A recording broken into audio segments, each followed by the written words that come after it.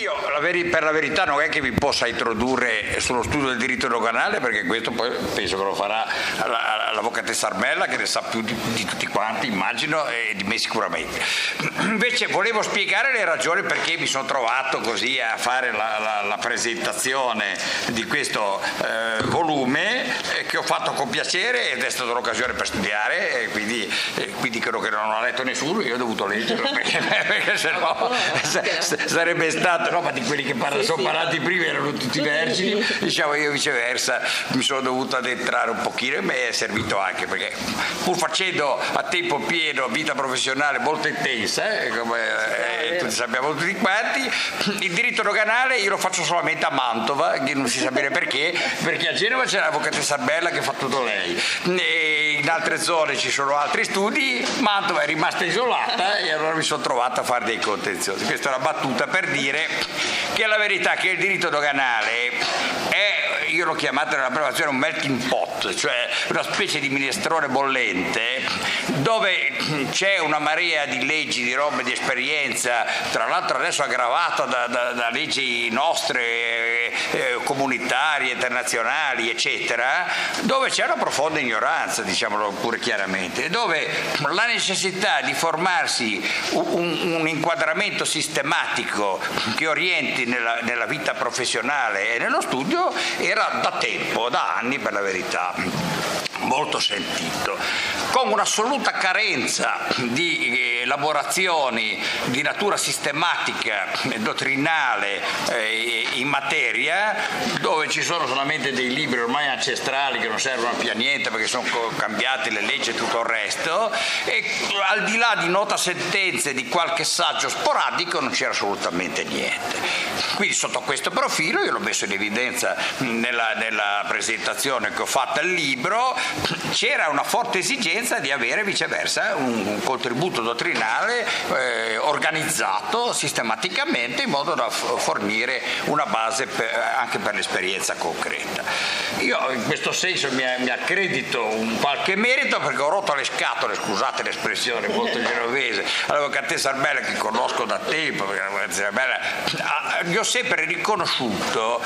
uno spirito prima di tutto estremamente combattivo, siamo stati anche su, su piani diversi, che- ma poi soprattutto una capacità di interpretare la norma e di non arrestarsi al caso concreto, ma un'esigenza di approfondimento, un salto di qualità sistematica, cioè farsi un'opinione lei e poi di saperla comunicare ad altre. Allora questo doveva trovare uno sbocco, diciamo così, concreto, non più solo nei saggi che io ho letto, anche per ragione, perché spesso era la rivista che dirigevo io e mi vedevo gli scritti dall'avvocatessa Arbelli sempre puntuali, Arbella sempre perfettamente puntuali, eccetera, ma l'idea di un'organizzazione sistematica. E quindi sono stato ben lieto di seguire questi sforzi e, e di leggere eh, que- questo libro. Leggere va studiato, parliamoci chiaro, non è che, che sia di facile lettura, nel senso di facile lettura perché la- la- l'argomento è quello che è, cioè, molto, molto specialistico, molto tecnico e, dove si annidano ignoranze profonde, almeno per quanto mi riguarda, e quindi bisogna studiarlo. A me è servito per- già professionalmente, eh, con utilità,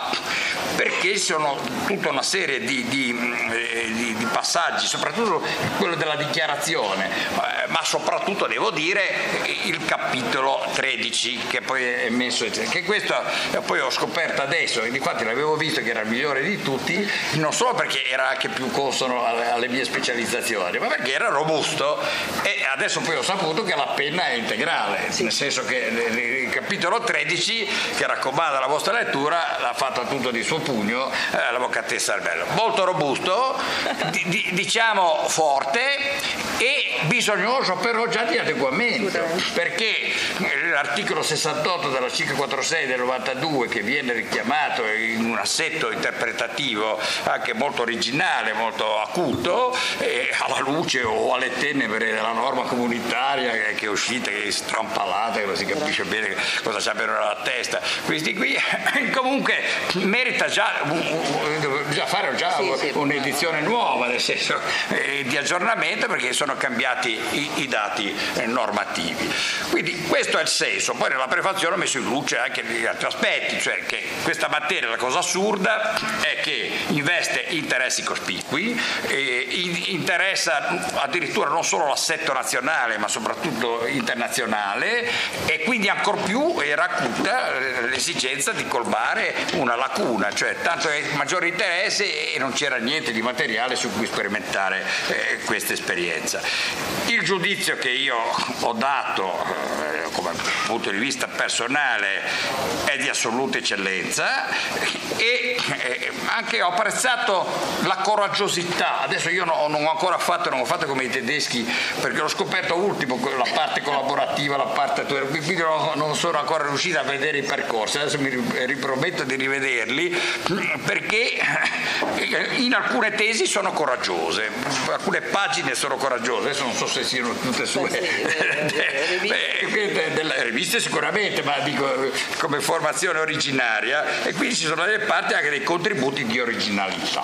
Ecco, io qui con questo vorrei dire che il suggello che io vorrei vedere di questa presentazione è il futuro, cioè il futuro prossimo che è quello di continuare a fare edizioni e, quindi di costruire questo manuale come una base eh, fissa, diciamo così, per i cultori eh, della materia. E poi ci dovrebbe essere, se, se, se, se mai le università avessero un'intelligenza, cosa di cui io profondamente dubito, perché avendo avuto tutta la fortuna accademica possibile e immaginabili, eh, ed avendo tutte le cariche, tutte le onorificenze possibili e immaginabili, ma devo dire che mi ritengo un essere eccezionale, nel senso che non ho mai subito le incongruenze dell'università che viceversa sono totali. Se ci fosse un'intelligenza universitaria bisognerebbe fare una cattedra, un insegnamento su questa materia, e, insomma la persona più adatta per investirla dovrebbe essere l'avvocatessa Armella, che io ritengo che poi dovrebbe anche assurgere a titolo anche accademico. E con questo io ho, ho esaurito il mio compito e quindi mi accingo, accingo a sentire ulteriormente essere addottrinato dall'avvocatessa Sarmel. Faccio io gli applausi.